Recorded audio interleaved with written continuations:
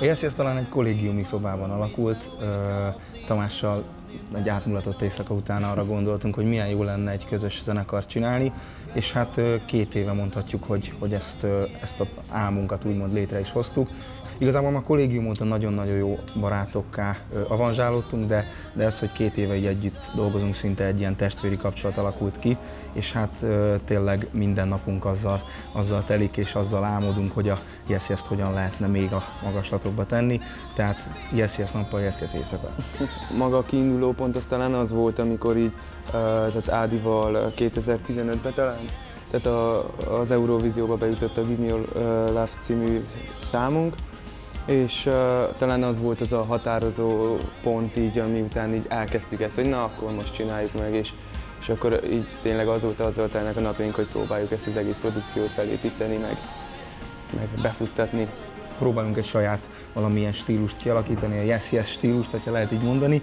Aztán ez ugye abban merül ki, hogy, hogy én egy elektromos harmonikát használok, ami, ami talán egy újdonság lehet a, a piacban, hogy, hogy egy ilyen tehát a harmonikát ilyen célokra használjuk, mint a Yes Yes zenéjében, de így a stílusunkat igazából nem nagyon tudom megmondani, hogy merre felé hajlunk. Hát meg ezt nem, nem is szoktuk amúgy, így mindig, mikor ez felmerül ez a kérdés, akkor így, így nem akarjuk így stílusok közé rakni. Tehát arra törekszünk, hogy egy hangzás világ legyen, és hogy azok meg mi legyünk, tehát hogy saját magunkat képviseljük, biztos, hogy van olyan, hogy azt lehet mondani az egyik számomra, hogy hát ez pont ugyanolyan vagy valami, de hogy nekünk nem ez a célvezére. Tehát Ádi írja a számokat, ez függ attól is, hogy Ádinak milyen napja van, épp milyen zenét hallgatod, de hogy, hogy nem szeretnénk mi ezt így stílusokba zárni. Főleg, hogy én klasszikus zenén nőttem föl, és hát ez, amit most mi játszunk, az azért nagyon-nagyon messze áll a klasszikus zenétől, de de nagyon izgalmas, tehát én tényleg annyira, tehát izgalmasnak találom a zenénket, és, és jó érzés egyszerűen a színpadon a saját dalainkat előadni.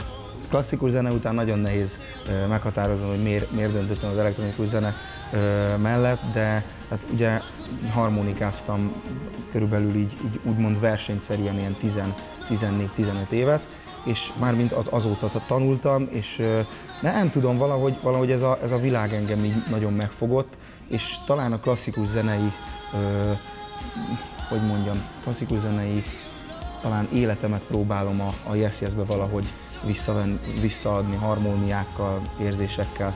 Tehát próbálom azt, amit ott megtanultam, azt a yes beépíteni. Fő üzenet igazából tényleg talán a mindi, minden dalban az optimizmus és az, hogy, hogy a semmiből, a, vagy akár a negatív dolgokból mindig fel lehet állni, bármilyen háttérre, baráti ö, ö, társakkal, vagy, vagy segítséggel, vagy akár saját magunk fel tudunk állni a, a, akár a dalokban, és hát valahol ez az üzenet tényleg az optimizmus, és a, a mindig, mindig van, van remény. Hát mivel főleg így napjainkban azért elég sok uh, rossz dolog történik a világban, így egyre nehezebb, de szerintem egyedül csak a pozitívság az, ami így kirántat ebből, meg ami nagyon fontos az összefogás. És uh, maga így a zenekarban is így azért nagyon fontos az, hogy tényleg próbálunk összefogni. Úgy érzem, hogy picit hiányzik a világból ez az összefogás, és azt szerintem nagyon fontos lenne. Tehát mi, mi azért próbálunk úgy állni hozzá, hogy hogy minél pozitívan, és azért sikerülhet megváltoztatni valamennyire a rossz dolgokat. Augusztus végén, szeptember elején fog megjelenni a következő albumnak a, az első száma, ami ez egy videoklip is társul, amit Angliába forgattunk, Endover mellett, egy gyönyörű szép parton és attól elkezdve fogjuk kiadni úgymond az egész lemezt, tehát egy tem tematikában lesz, de szingölökként fog kijönni, és akkor rá egy olyan három-négy hónapra fog összeállni kb. úgy az egész lemez. Ez most az első terv. Menet közben meg hát nagyon fontos az, hogy új dalok szülessenek, új videoklipeket tudjunk forgatni. Nagyon fontos azt is megemlítsem, hogy, hogy most lényegében, hogyha a Csetamás nem segít nekünk, akkor a Csetamás program nem Akkor... tudtunk volna ugye videoklipet csinálni, Igen, tehát koncertezni se nagyon tudtunk volna, adtak egy csomó lehetőséget, koncert lehetőséget, ami, ami tényleg nagyon fontos nekünk. Tehát terveink között igazából csak az szerepelhet, hogy koncertezzünk, megismerjenek minket az emberek, és hát ha tervek közé lehet ezt sorolni, akkor tényleg ez, hogy egy olyan közönséget kialakítani, akik nagyon sok koncertre eljönnek, csápolnak, ordítanak, akár egymásba szeretnek. Tehát nekünk ez a, ez a, ez a terv, hogy, hogy legyen egy olyan nagy mag, egy olyan bázis, aki minket szeret, és aki mindig elkísér minket, és élményeket akar szerezni, ahogyan mi is. Hát igen, meg, meg az, hogy a, ugye a folyamatos fejlődés, tehát hogy azért ez egy kezdő produkció, és még nagyon sok tervünk van, úgy, mint látványban, hangzásban, mindenben, és, és ezen a közeljövőben, tehát nagyon ezen, ezen szeretnénk dolgozni, meg hát ez nagyon jó ez is, hogy itt játszhatunk az A38-on, lényegében második koncertünk, és egy, ez azért ez egy nagyon jó érzés, hogy egy ilyen úgymond hangtechnikával, meg egy ilyen színpadon, ami nemzetközileg is elismert, hogy kipróbálhatjuk, mert itt fog összeállni maga az, tehát hogy az ilyen koncertekkel, ami, amit szeretnénk, tehát a hangzás, a látvány, mind kell javítani, és ezt, ezt mi nagyon fontosnak tartjuk, most is, meg így a jövőben is. Meg tavaly voltunk Kensington koncerten, itt az a 38 és ott pont azt beszéltük, hogy úristen, mikor fogunk mit játszani, hány év kell ahhoz, és ott egy év kellett. Viszonylag, hogyha tényleg ez egy álom volt, hogy uh, itt játszassunk az a 38-on, és hát hál' Istennek ez létrejött, és hát uh, nem tudom még milyen érzés lesz, de, de reméljük, hogy még nagyon sokszor itt lehetünk.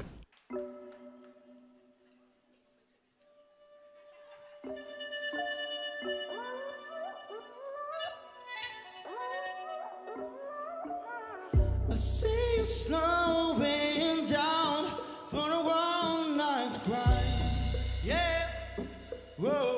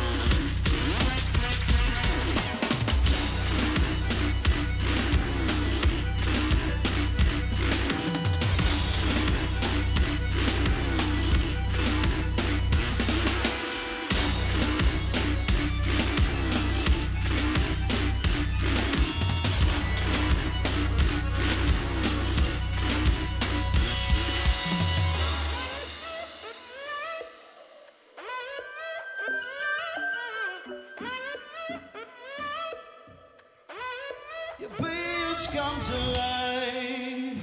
Köszönjük szépen!